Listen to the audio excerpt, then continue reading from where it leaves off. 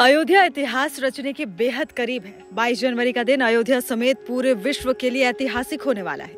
इसी दिन रामलला के विग्रह की भव्य प्राण प्रतिष्ठा होगी। प्राण प्रतिष्ठा से पहले भगवान राम की मूर्ति की तस्वीर सामने आई, जिसमें वो बाल स्वरूप में श्यामल पत्थर से तैयार दिख रहे हैं।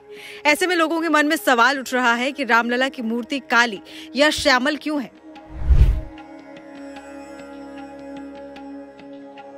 दरअसल जिस पत्थर से रामलला की मूर्ति का निर्माण हुआ है, उस पत्थर को कृष्ण शिला भी कहा जाता है। इस वजह से भी रामलला की मूर्ति श्यामल है। जिस पत्थर से रामलला की मूर्ति का निर्माण हुआ है, उसमें कई गुण हैं।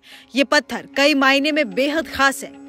रामलला की मूर्ति के निर्माण में इस पत्थर का उपयोग करने के पीछे एक बड़ी वजह यह भी है कि जब रामलला का दूध से अभिषेक होगा तो दूध के गुण में पत्थर की वजह से कोई बदलाव नहीं होगा। उस दूध का उपयोग करने पर स्वास्थ्य पर कोई गलत असर नहीं पड़ता है। साथ ही हज़ार से भी अधिक सालों तक यूँ ही रह सकता है, यानी कि इसमें कोई बदलाव नहीं होगा। इसके अलावा वाल्मीकि रामायण में भगवान राम के स्वरूप को श्याम वर्ण में ही वर्णित किया गया है। इसलिए ये भी एक वजह है कि रामलला की मूर्ति का रंग काला है। साथ ही रामलला का श्यामल रूप में ही पूजन होता है। श्री राम जन्मभूमि तीर्थ क्षेत्र के महासचिव चंपत राय ने बताया है कि भगवान श्री रामलला की जो मूर्ति बनी है, वो पाँच साल के बालक का स्वरूप है। उन्होंने बताया है कि मूर्ति इक्यावन इंच की है और रामलला की मूर्ति का निर्माण काले पत्थर से किया गया है।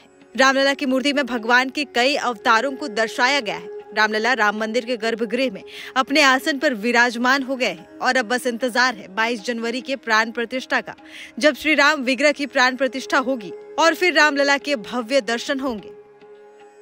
अयोध्या तो आज बैकुंठ है। ऐसा लग रहा है देखने के बाद में कि मानो स्वयं त्रेता युग है।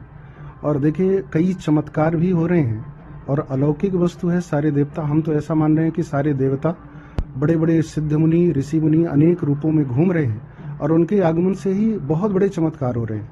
यहाँ का परिदृश्य तो पूरा भक्तिमय है। जो बाहर के लोग भी आए हैं, यहाँ के रहने वाले लोग भी हैं, वो ऐसा महसूस कर रहे हैं कि 500 सालों में ऐसा कभी नहीं देखा गया। यानी जो आँखें लालायित थी तो आज तो यहाँ की स्थिति ऐसा हर व्यक्ति सोच रहा है कि हम सीधे त्रेता युग में बैठे हुए हैं। आज ही भगवान श्री राम का जन्म हो रहा है और भगवान श्री राम बिल्कुल महसूस किए जा सकते हैं। जिसको बिल्कुल विश्वास नहीं था, ऐसे लोग भी यहाँ पे आए हुए हैं। यानी महाराष्ट्र से देखें, या अनेक स्टेटों से पैदल लोग चल करके आए हैं और इतने दिनों से मेहनत करने के बाद में उनको देखने के बाद ऐसा लगता है कि बिल्कुल कोई थकानी ही नहीं है। यानी अपने आप में बहुत खुशी महसूस कर रहे हैं तो हमें तो बिल्कुल ऐसा लग रहा है कि साक्षात भगवान श्री राम है, और कल हम श्री राम के दर्शन भी करेंगे।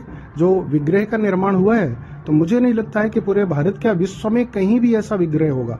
इतना अद्भुत है कि उनको देखने के बाद में अपने आप दुख का अंत हो जाता है, और चेहरे में मुस्कान आ जाती है।